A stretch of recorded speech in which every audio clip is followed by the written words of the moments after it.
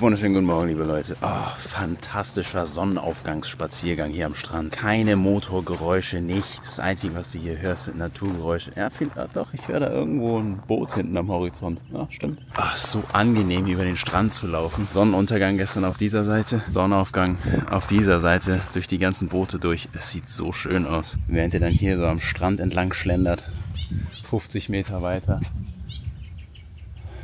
ist Janas Haus. Was ist das denn? Morgen. Also ich dachte gerade, das wäre Jana gewesen. Ich glaube, Jana hat das Haus vermietet. Wie lustig. Ich winke und gehe so offensichtlich hin, aber das war eine andere Person. Aber geh. Ja, die Fischer schon am Start, sortieren gerade ihre Netze. Die Gockel laufen hier alle frei am Strand rum. Schaut euch mal bitte an, wie glasklar das Wasser hier ist.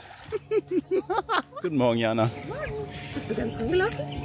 Nee, das nicht. Ich bin gerade so selbstverständlich zu deiner Butze hin. Ich dachte, du sitzt da Oh shit, und dann und waren da andere Tee. Leute. Gucke ich und auf einmal winkt die Person so. Und ich wink dann so zurück und ich dachte, das wärst du. Ich gehe hin und dann kurz bevor ich dann bei, hier vorm Zaun angekommen bin, ich so, Moment, das ist ja gar nicht Jana. Ganz weirde Situation. Die dachten so, oh geil, Cheng kommt jetzt zu uns hier, Kaffee trinken. Geh jetzt nochmal den Berg hoch. Schaut euch diesen wunderschönen Baum an. Zeige ich jedes Mal. Ich liebe ihn einfach. Es ist verrückt. Das ist die Pferdekoppel. Wir werden heute noch einen Beachwalk machen mit den Pferdis. Auch cool. Die haben hier die Treppe neu gemacht. Guck mal einer. Yogaschalla. Schaut mal. Das letzte Mal bin ich hier noch halb durchs Gebüsch gelaufen. Morgen Yogaschalla. Bock auf eine morgendliche Yoga-Einheit? Ja, richtig schön. 180 Grad Panorama-View. Kurz in die Hosen gekackt. Mal, raschelt's im Gebüsch und mich springt hier etwas halb an. Eine Ziege, die hat sich erschrocken, dass ich hier hochkomme. Zur frühen Stunde. Guten Morgen. Ah, Boah, schönes Ding. Ist hier oben an der Spitze angekommen. Ich glaube, hier oben hat man einen wunderbaren 360-Grad-Ausblick über meine Frisur. Alter, Bro, wie siehst du denn aus? Wo geht's lang? Da geht's lang. Okay.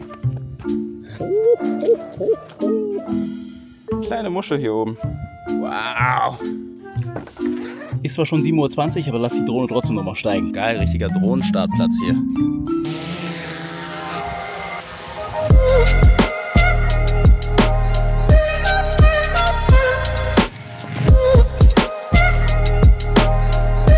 Einen wunderschönen guten Morgen. Hast du hier draußen geschlafen? Amila pennt noch, okay. Und wo warst du schon unterwegs? Ja, hier Wildschwein gejagt. So cool, die Pferde da hinten beobachte ich die ganze Zeit. Genau so bin ich aufgewachsen. Auf dem Dorf, 300 Einwohner, hinter unserem Gartenzaun, direkt Pferdekoppel. Ah, mit. Ah, das ist echt cool. Ich glaube, Jana ist genau da. Guten Appetit! Lecker Frühstück. Oh, Blueberry Pancakes.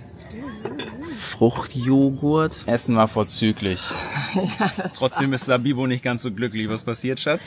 Ich bin jetzt gerade richtig glücklich, weil, siehe da, ich habe eine Eimer bzw. eine Schüssel mit Eiswasser bekommen, weil meine Beine bzw. meine Füße so krass angeschwollen sind. Wasser hat sich eingelagert.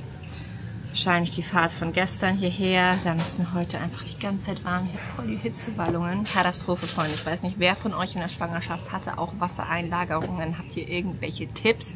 Schreibt sehr gerne in die Kommentare. Ich hatte jetzt gelesen, kalt, warm, äh, Wechselduschen, Apfelessig soll gut sein, die Beine hochlegen, Bewegung. Also auf jeden Fall müssen wir gleich noch ein bisschen spazieren gehen, aber gerade sehe ich mich nicht spazieren gehen. Eigentlich wollten wir ja spazieren gehen mit den Pferdis, die übrigens hier gerade so wunderschön, während wir gefrühstückt haben, äh, bei uns auf der Wiese waren. Roxy, Fidel, Emily, wo seid ihr? Ihr seid schon fast drei Wochen hier und habt euch immer noch nicht an unseren Rhythmus angepasst. Es war 9 Uhr Frühstück verabredet, 10 Uhr wollten wir den Spaziergang mit den Pferden machen und um 11 Uhr wollten wir schnorcheln gehen.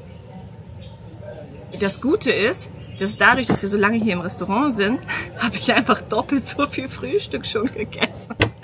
weil ich einfach nochmal bestellt habe. und dann fragst du dich, warum deine Füße anschwellen?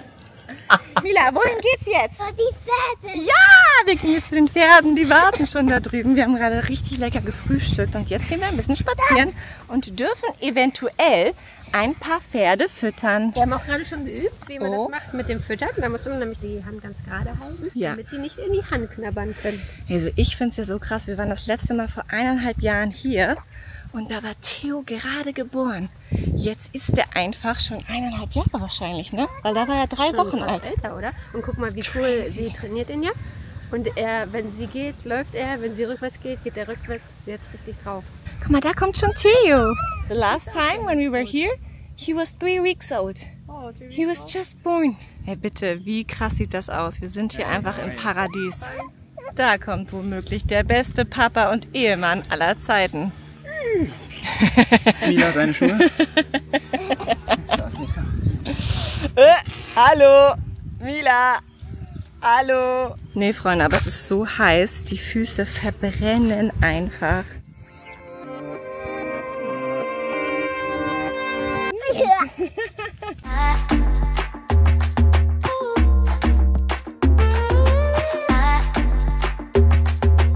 Egal, wo wir hingucken,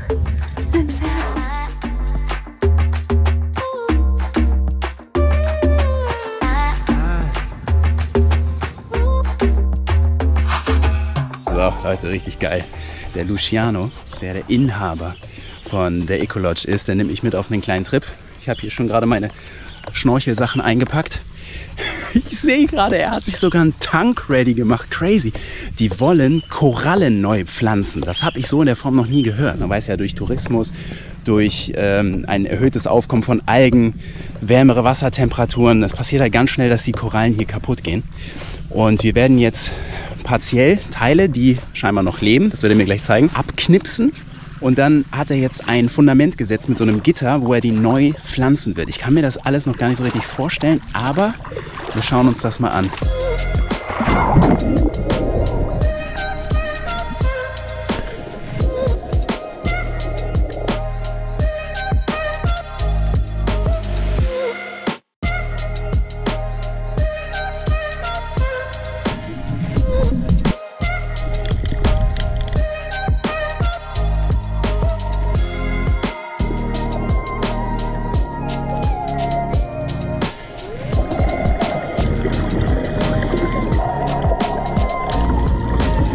Entspannungsspaziergang um die Insel rum.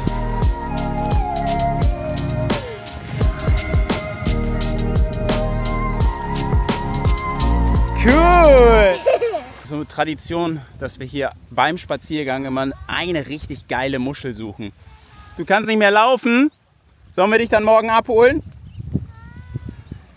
Und dadurch, dass Sabibo jetzt nicht so weit laufen konnte, sind wir direkt hier an dem ersten Felsen schon umgekehrt und Mila ist halt auch schon Game Over. Jetzt hatten wir nicht so wirklich Chancen. Jetzt haben wir noch den Rückweg Zeit, was Saftiges zu finden. Hier sind richtig viele krasse Muscheln, aber wir brauchen eine saftige. Was hast du da? Was ist das? Ist das eine Kokosnuss? Nimmst du die mit? Bisschen schwer, oder? Nein. Wenn du die selber trägst, ist okay. Komm, eine Saftberger Parademuschel muss doch hier noch am Start sein. Was haben wir hier? Die sieht ganz cool aus. Aber ist das ein Saftberger Prachtexemplar? I don't know. Unfassbar. Nobody here. Ja, was soll ich sagen? Ausbeute eher mager. Ich glaube, wir müssen eine von Janas mitnehmen. Alter, guckt euch mal an, wie groß die ist. Oder solch eine hier. Oder diese Nautilus hier. Wow! Wie schön ist das hier bitte? Krass!